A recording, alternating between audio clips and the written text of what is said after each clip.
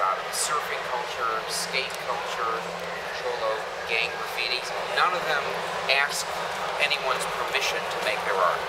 So these are not artists who went around with sheets of slides to galleries or you know trying to make friends with art critics or people who could help them to make their work public. They just took it direct to the public. Also, that's so interesting, it has a lot to do with RVCA, is when art is really strong, it doesn't just stop at the art object. So it spills over into connections with music, with sports, Clothing. clothing. You know, you know, it's it's it's an, it's everywhere. It's an attitude, and I think that the work here reflects that. So it's a pleasure to welcome Pat,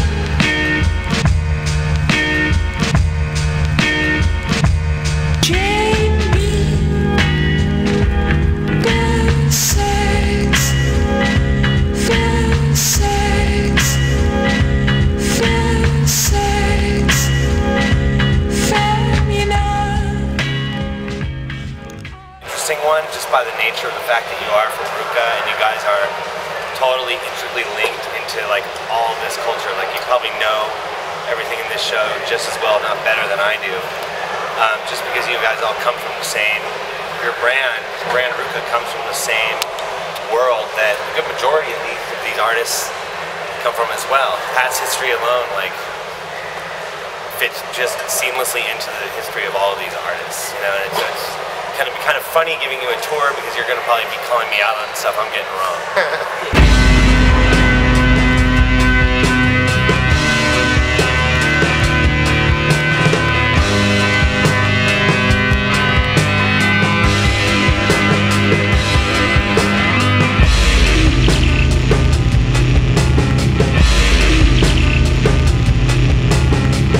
Some